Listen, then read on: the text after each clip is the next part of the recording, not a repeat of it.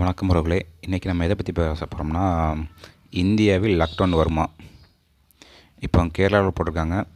அடுத்து அப்புறம் பாண்டிச்சேரியில் போட்டாங்க. அப்புறம் வட மாநிலத்தில் ஒரு மாநிலத்தை இப்போ சின்ன இடங்களில் லாக்டவுன் போட்டிருக்காங்க. இப்படி போய்கிட்டே இருக்குது. ஏற்கனவே கொரோனா வைரஸ் வந்து நம்மளுடைய பல பேரோட தொழில் பொருளாதாரம் எல்லாமே நலிவடைஞ்சுது. அதே மாதிரி ஒரு சம்பவம் இனி வருங்காலத்தில் நடக்க போகுது. அதற்கான ஆரம்பம் தான் இப்போ கேரளாவில் ஆரம்பிச்சிருக்கிறாங்க. சில ஊர்களில் லாக்டவுன் போட்டிருக்காங்க. அப்புறம் பாண்டிச்சேரிலையும் சில ஊர்களில் போட்டிருக்காங்க. வட மாநிலத்தில் ஒரு ஊர்லேயும் லாக்டவுன் போட்டிருக்காங்க. இனிமேல் இப்படி பைய பைய ஒவ்வொரு இடங்களாக லாக்டவுன் போட ஆரம்பிப்பாங்க. இந்தியாவில் முழுமையாக எப்போ லாக்டவுன் போடுவாங்கன்னா இன்னும் இரண்டாயிரத்தி இருபத்தி நாலில் தேர்தல் வரப்போகுது. தேர்தல் முடிஞ்ச பிறகு இவங்க லாக்டவுன் மிகப்பெரிய அளவில் இருக்கும். அதில் எந்த மாற்றிக்கிறதும் கிடையாது. ஏன்னா இந்த வைரஸை வச்சு நாடம் நடத்துகிற யாருன்னு பார்த்தீங்கன்னா பில் கேட்ஸாக மாத்திரம் இருப்பார். ஏன்னா கொரோனாவுக்கு தடுப்பூசி கண்டுபிடிச்சது அவர் தான் அவர்கிட்ட இருந்தால் உலக நாடுகளில் எல்லா நாடுகளுக்குமே சப்ளை செய்யப்படப்பட்டது இப்போ இந்தியாவில் கூட நீங்கள் சொல்லலாம் இந்தியாவில் இருந்தால் பாரத் பயோடெக்னு சொல்ல சொல்லலாம். ஆனால் அதுக்கும் அந்த கம்பெனியில் இருக்க பார்ட்னர் யாருன்னு பார்த்தீங்கன்னா பில் கேட்ஸ் தான்.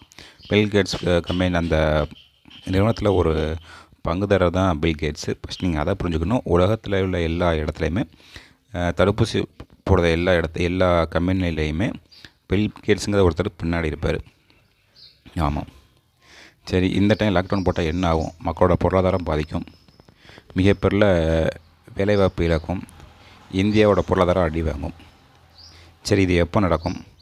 இப்போ ஒரு ஊராக போடுவாங்க. ஃபஸ்ட்டு கேரளாவில் வைரஸ் வந்துச்சுன்னு சொல்லி இப்போ கொரோனா காலகட்டத்தில் ரெண்டாயிரத்தி பத்தொம்பதில் போட்டாங்க. இப்போ அதே மாதிரி தான் ஒவ்வொரு ஊராக காட்டி சொல்லிக்கிட்டே வருவாங்க. கடைசியில் ஒவ்வொரு ஊராக ஃபுல்லான பிறகு ஒவ்வொரு ஊராக இது நம்மளுக்கு பயமுறுத்தின பிறகு அப்புறம் தமிழ்நாடு முழுமைக்கும் லாக்டவுன் போடுவாங்க. ஏன்னா இப்போதைக்கு ரெண்டாயிரத்தி இருபத்தி நாலு தேர்தல் முடிந்த வரைக்கும் இப்போதைக்கு நம்மளுக்கு பயம் தான் காட்டுவாங்க. ஏன் பயம் கட்டுறாங்கன்னா அப்போ தான் உங்களுக்கு நீங்கள் என்ன பண்ணுவீங்கன்னா வெளியில் போக மாட்டீங்க வைக்க மாட்டீங்க. அந்த பயத்திலே நீங்கள் வாழ்வீங்க. வைரஸ் வந்துருமோ நம்மளுக்கு வந்துருமோ வந்துருமோன்னு. ஒரு கதை சொல்லுவாங்க சொல்லு ஞாபகம் இருக்குங்களா அதாவது சதுரங்க வேட்டை படத்தில் சொல்லுவாங்க. ஒருத்தனோட ஏமாத்தன்னு முடிவு பண்ணிட்டா அவன்கிட்ட வந்து மனசாட்சியை பார்க்கக்கூடாது அவனோட ஆசையை தூண்டணும்னு சொல்லுவாங்க.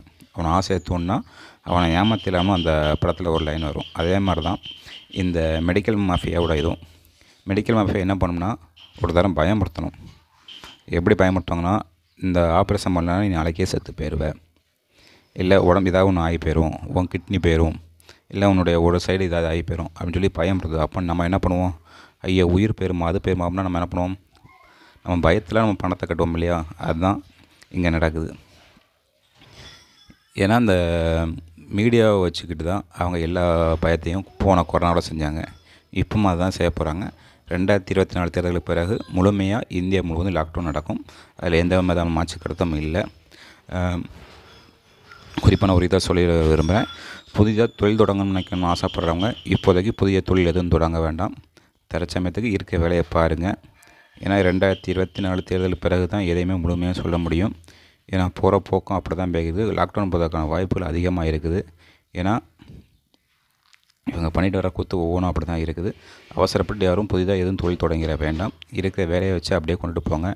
ஏன்னா நானும் கொரோனாக்கு முன்னாடி ஒரு தொழில் வச்சு அந்த தொழில் நடஞ்சு மறுபடியும் ஒரு வேலைக்கு தான் போய்க்கிருக்கேன் ஸோ என்னையும் மறு ஒரு சூழ்நிலை உங்களுக்கு வந்துடப்படாதுங்கிறது தான் நான் முன்கூட்டியே உங்களுக்கு நான் சொல்கிறேன் ரெண்டாயிரத்தி இருபத்தி நாலு தேர்தலுக்கு பிறகு இது முழுமையடையும். ஒவ்வொரு இடமாக கொஞ்சம் கொஞ்சமாக கொண்டு வருவாங்க. அது முழுமையடைஞ்சு மிகப்பெரிய உள்ள பாதிப்பு நடக்கும். இந்த பொருளாதாரம் அடிவாங்க அதனால் அவசரப்பட்டு எந்த சூழ்நிலையும் நீங்கள் யாரும் புதிதாக எதுவும் தொழில் தொடங்கிட வேண்டாம். நான் கேட்டுக்கிறேன். நன்றி. வணக்கம்.